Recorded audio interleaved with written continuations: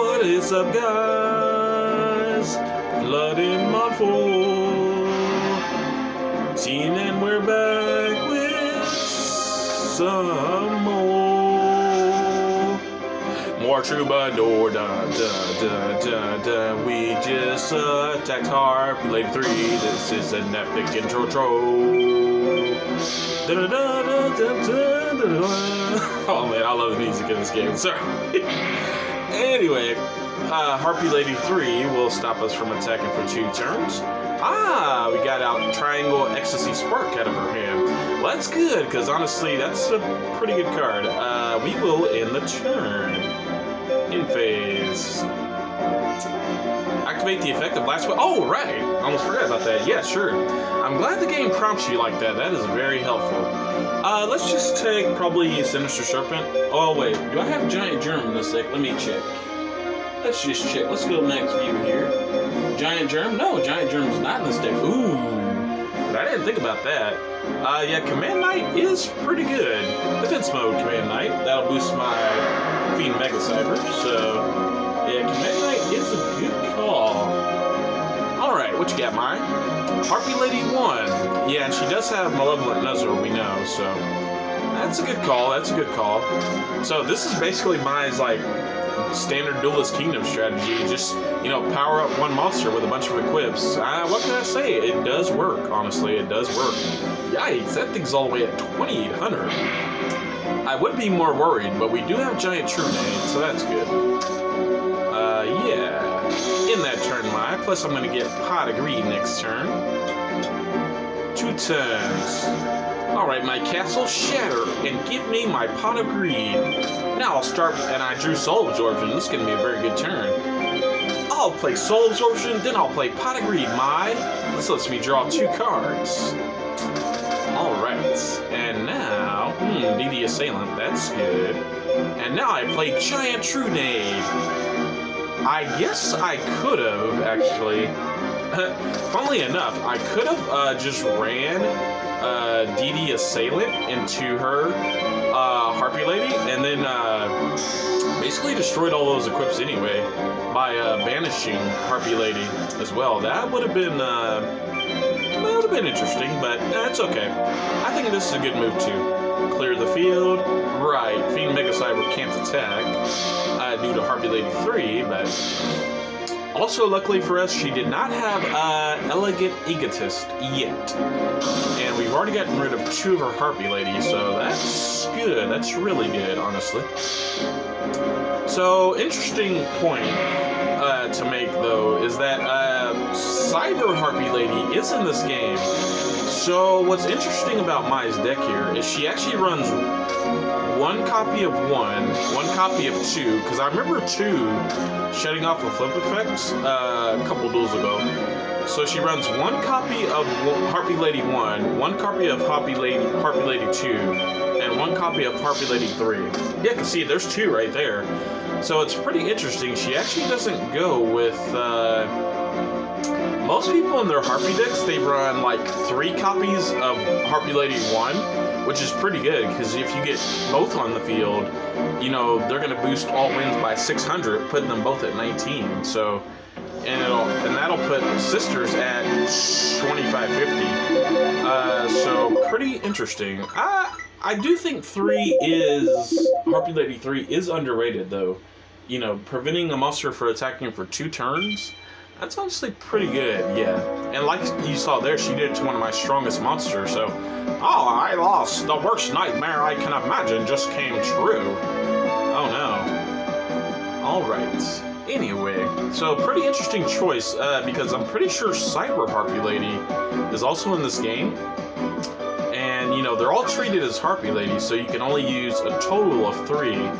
So, yeah. Some people will also play like two Harpy Lady 1 and one Cyber Harpy Lady, which is pretty good. Because, uh, you know, if you get the Elegant Egotist, you know, you can have like Harpy Lady 1 out and then Elegant Egotist into Cyber Harpy Lady. And that's a 2100 level 4. That's pretty good, honestly. Alright, so, oh, and there's another person here. Okay.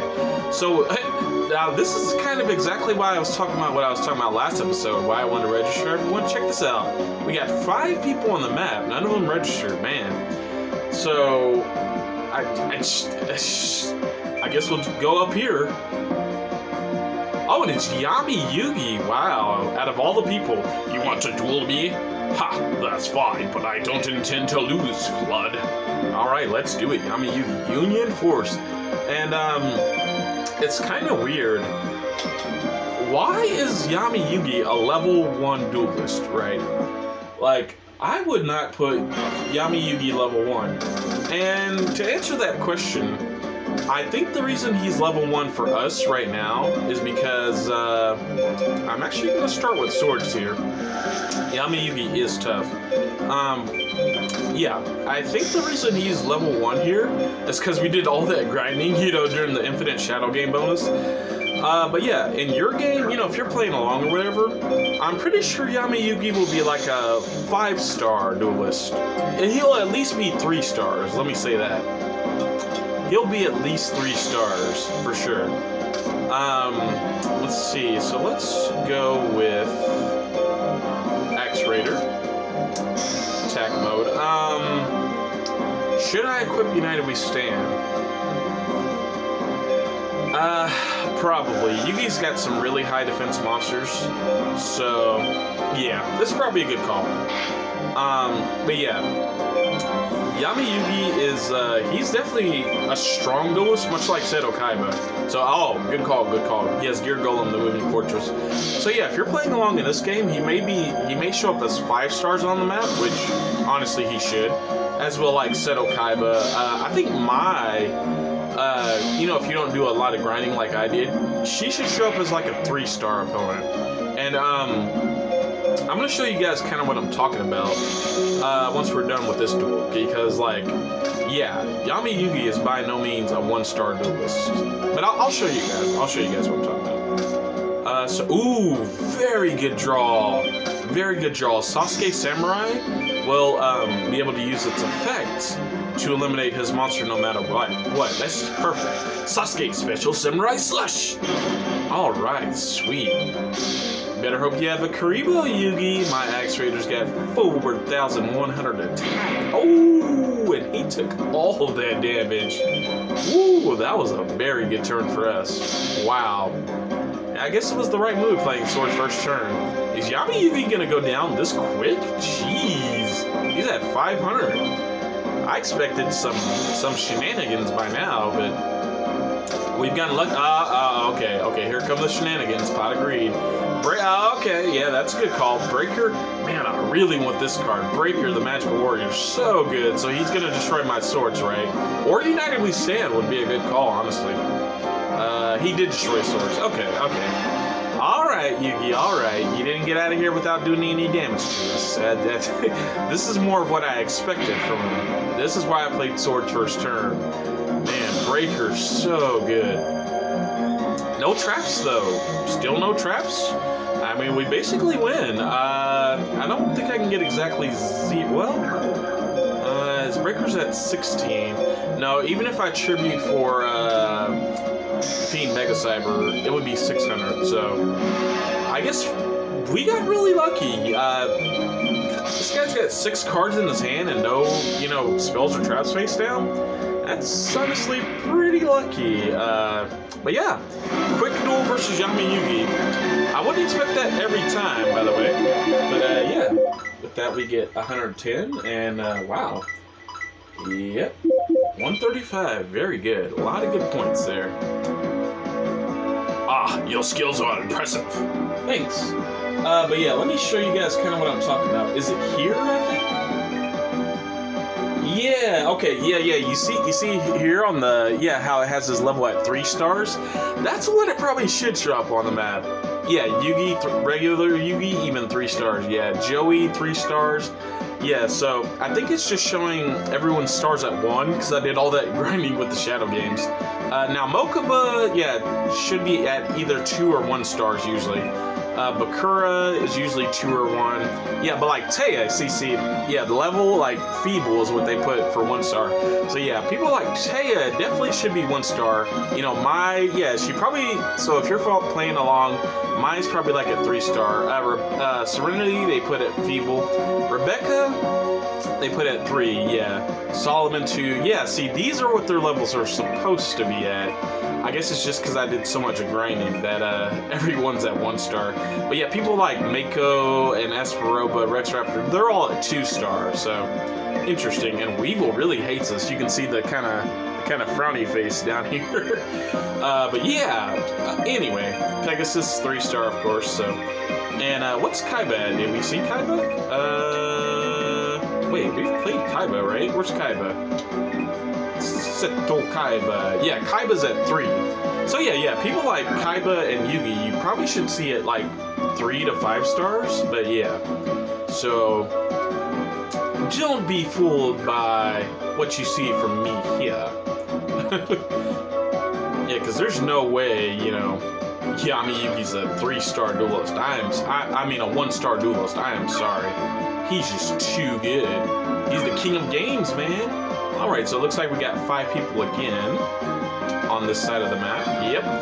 Five people, all all that we haven't registered. Um let's just go with let's go with one of the ones closest to us. Uh this one or this one? Let's go with top left. Yami-Yugi again. Okay. Okay, round two, baby. Let's do it. Want to duel me? Yes. Ah, rematch. Let's do it. Alright, Yami Yugi. Let's see if you can get me this time, buddy. Let's see if you can play a better game this time. I'm sure you can. You're the king of games. The king of card games. Alright. Let's do it. Pretty good hand here. Mirror Force, you know, Sasuke Samurai. Ah, he's playing some back row this time. Alright, alright. Dream Clown. Interesting first hand. Uh, hmm. Well, let's just go with... Let's go with Assailant. Definitely our, our best card on hand. Uh, hopefully we don't run into like a Mirror Force or something. But uh, let's just try. Gear Golem, yeah. So I guess that's a standard opening play. Gear Golem, pretty good, yeah. 2200. Very good defense. Alright. We'll set Mirror Force, and in our turn. What? Oh, I did that in main phase too, that's why. Okay. I was like, why is it letting me in my turn? Go ahead, Yugi. Well, he's not attacking us. I mean, that's... Honestly, I'll take that. Uh, Foolish Burial. I imagine I have... Hmm... Something I could do here, I do have Warrior returning alive. So something I could do... Well, let's do this. Let's send Command Knight. Right. Then let's Warrior returning alive Command Knight. Yeah, that'll put us over 2100. So that's good. Alright, alright. Summon Command Knight. So no matter what, we won't be able to attack him directly, but maybe now we can defeat this face-down monster. DD Warrior? Oh, he does have Mirror Force face down. He just didn't play it because our monster couldn't beat him. I see. Well, that is unfortunate. That is unfortunate. Um, go ahead, Yugi. Go ahead. Go ahead. Not much I can do about that. Not much I can do about that. So he's got Gamma, Giant Rat he face down. Hmm. Now, interesting. You would think I would Mirror Force here. I'm actually going to let the damage go through. I'm actually going to let the damage go through because we do have Lightning Vortex in our hand. So next turn I will Lightning Vortex. That way we can use Mirror Force defensively during Yugi's next turn. A lot of damage to take, but yeah, this is kind of more of what I expected from you, Yugi. But uh, last time he didn't play any, you know, spells and traps his face down, so yeah. Alright, so we draw. Yeah, Magician of Faith, okay. So I will Lightning Vortex, like I said. So let's do that. Boom. Boom. Boom. payback, Yugi, payback. Now, hmm, let me think. I do have a warrior returning alive in my graveyard. Maybe I should actually go with Magician of Faith, face down. Yeah. Go ahead, Yugi, go ahead, go ahead. Oops. I entered the battle phase. Go ahead. Yeah, because I think I'll take Warrior Returning Alive, actually. That way we can have a solid monster. Sangan. Yeah, he's not going to attack with Sangan. Alright, Axe Raider. Very good, very good. So, let me think here. Let's just go with Axe Raider. See what he gets off of Sangan here. Go, Axe Raider! slice him and dice him. Alright, we finally do some damage, Yami Yugi.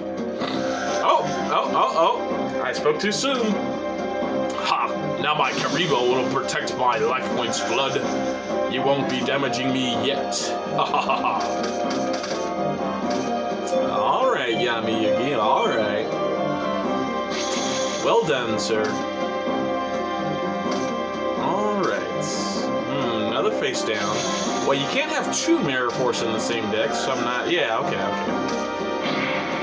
okay. Also, Rock Bombardment is interesting, because I know he just searched for Gear Golem, and that is an Earth monster. So, I'm going to play this, even though Yugi does have some Earth monsters like uh, all the Magnet Warriors are Earth, I think. Yeah, but we're going to play it anyway. Alright, go Axe Raider, slice them and dice them. I figured it was Gear Golem. Alright, there we go. Good, good. Gaia Power was a very good draw there. And we still have Mirror Force in the back pocket, so that's good. Taken back control of the field. What are you gonna do, Yami Yugi? What are you gonna do? We still haven't had to use Magician of Faith yet either, which is good. Ah, Obnoxious Celtic Guardian. Ooh, this is a bit of a problem, I just realized. Um, I actually am gonna Mirror Force here because with Gaia Power, that puts Obnoxious Celtic Guard at uh, 1900, and its own effect would have protected it in battle. Because see, check this out, check this out. Yeah, Obnoxious Celtic Guard. Yeah, can't be destroyed in battle if it battles a monster with 1900 or more attack. So, honestly, that was a good Mirror Force there, I think. Now we got the A Forces, the namesake of the deck. Alright, I think it's time. Magician of Faith, take it back. The Warrior returning alive. I think we can win this turn. Because we're already boosted by Gaia Power. And if I play Warrior returning alive, to take back Command Knight, yeah, we should definitely have quite the power boost. Go, Command Knight. And now, Battle Phase. Uh, let's get to it. Dream Clown, attack. Let's see what his attack is at. 2,900, holy crap. Oh yeah, because I have allied forces too, man. awesome, awesome. Go, Axe Raider, slice them and dice them. Oh, and we had exactly 3,400. I didn't even mean to do that, guys. I wasn't even looking at the attack points. But holy crap, 3,400 attack point Axe Raider. That's awesome. All right, well, we win, Yami Yugi. and we had Mirror Force back there the whole time. But it was it was smart to save it though because it definitely helped against that obnoxious Celtic guardian of Yugi's. Ah, your skills are impressive. I won't give up though. That's the spirit, Yami Yugi. Never give up. Okay, so it looks like we are at 18 minutes. Um, let's hit the home icon real quick. Let's hit the home icon. Uh, let's save. Um, well, I guess it's gonna be the end of the episode. Uh, yeah, because normally I like to go 20 minutes. Well, actually, I tell you what, guys, we're just gonna buy. We're gonna go to the shop real quick, and we're gonna buy like, eh, like three or four packs in the episode. Normally I like to go, you know, to about 20 minutes or past, but I don't think we have time for another one. So yeah, let's just come here to the shop and let's let's buy a couple packs here. Oh, and by the way, uh, in between episodes, I did figure out what card I want out of here, the Visitor from Beyond. Yeah, Mystical Space Typhoon's in this pack. Mystical Space Typhoon. So now we didn't get it out of uh, like four or five packs, so I'm not gonna try again today. But that is duly noted. That is duly noted.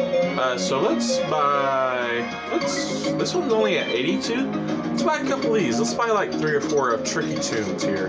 See if we get anything good to, to end out the episode. Bottomless Trap Hole is good, and I think you can only use one Lightning Vortex, but hey, another one is good. Alright. But yeah, Mystical Space Typhoon is the card we were looking for. I think we only had three bottom, uh, two, one bottomless before, so now I have three. Also, I did only have two Toon Table of Contents, so I'm kind of glad I opened this pack. So now we got another one. So that's good. That's very good. All right, Fengsheng Mirror, Servant Strategy. Uh, I also think I only had two Exarion Universe, so that's good. We got another one of those. Uh, this will be, yeah, let's make this the last pack, because we're at, uh, yeah, we're at 21 minutes now. Yeah, last pack. Fiend Sanctuary. This is actually a pretty good card, so check this out. Special summon one Metal Fiend token. Uh, token can attack, but excess damage uh, against the controller from battle is received by the opponent instead. So basically, it's kind of like an Amazoness Swordswoman effect.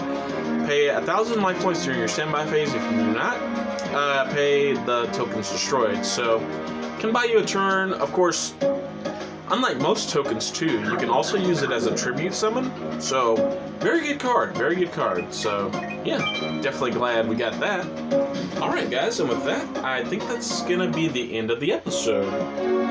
All right, so thank you guys all for joining me. Click on the home icon. Make sure we don't get into a shadow game in the episode. But yeah, I think that's going to be it for today's episodes. Thank you guys all for joining me. And I will see you all next time. Have a good day. Alright. Yeah, let's get to editing that deck, man. Got some good cards today. Alright, yeah, because we got another command knight and another table, a two table, right? Yeah. Oh yeah, another DD assailant too. Holy crap. Yeah, this warrior deck's gonna be looking pretty good. Alright guys, see you next time.